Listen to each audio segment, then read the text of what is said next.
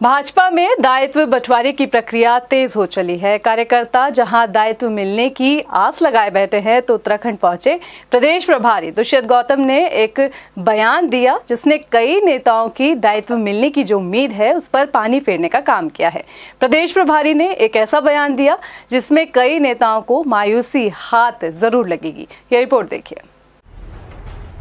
उत्तराखंड भाजपा में दायित्व बंटवारे को लेकर धामी सरकार में प्रक्रिया चल रही है। आयोग, निगमों, परिषदों समितियों में करीब डेढ़ सौ पदों के साथ ही मंत्री और राज्य मंत्री स्तर के छियासी पद खाली है, जिनकी अंदर खाने नामों की लिस्ट भी तैयार हो रही है। बस घोषणा किसी भी वक्त नामों पर अंतिम मोहर लगने के साथ ही हो सकती है, जिसे लेकर बीजेपी नेता और कार्यकर्ताओं की धड़कनें तेज हो गई है, क्योंकि लंबे वक्त से भाजपा कार्यकर्ता और नेता दायित्व को लेकर लॉबिंग में लगे हुए थे।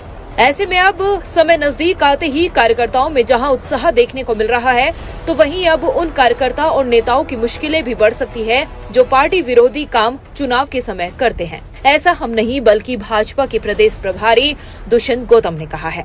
दरअसल प्रदेश प्रभारी दुष्यंत गौतम ने दायित्व बंटवारे पर बड़ा बयान देते हुए कहा कि पार्टी में रहकर जिन्होंने पार्टी विरोधी काम किया है, उन भीतर घातियों को दायित्व नहीं मिलेगा। तो मिलकर बैठकर लिस्ट बनेगी।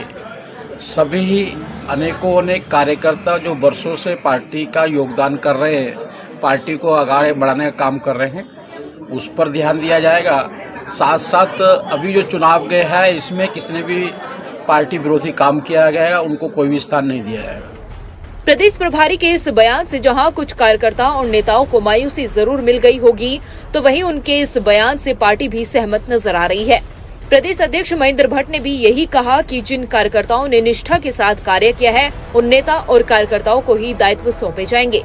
नामों पर चर्चा हो रही है और जल्द ही मुख्यमंत्री पुष्कर सिंह धामी को लिस्ट भी सौंप दी जाएगी।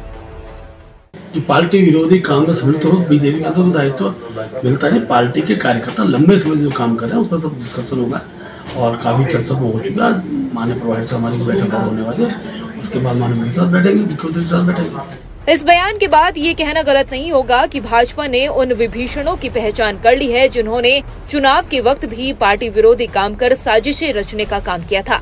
हालाँकि उनकी साजिशें नाकाम रही। और अब देखना ये होगा कि पार्टी किस नेता और कार्यकर्ता पर भरोसा जताती है और किस पर नहीं, क्योंकि इस नींव को मज़बूत करके ही भाजपा लोकसभा चुनाव में जीत के सपने देख रही है।